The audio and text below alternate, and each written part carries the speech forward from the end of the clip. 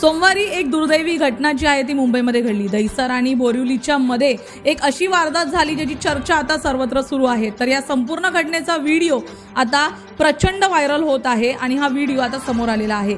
या व्हिडिओमध्ये चेतन सिंग जो आहे तो गोळीबारीनंतर लोकांसोबत बोलत आहे. या व्हिडिओमध्ये तो स्पष्टपणे बोलत आहे की हिंदुस्तान में रहना है तो.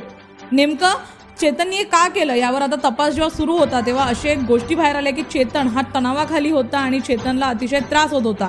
परंतु हा त्रास कसला होता याबाबत काही चर्चा होत नाहीये. या व्हिडिओमध्ये जेव्हा बोलत असताना स्पष्टपणे तो लोकांना काय सांगतोय हे देखील कळत नाहीये परंतु लोकांना मारण्यामागचं कारण नेमकं काय आहे हे अद्यापही समोर आणण्याआधी हा व्हिडिओ समोर आलेला आहे.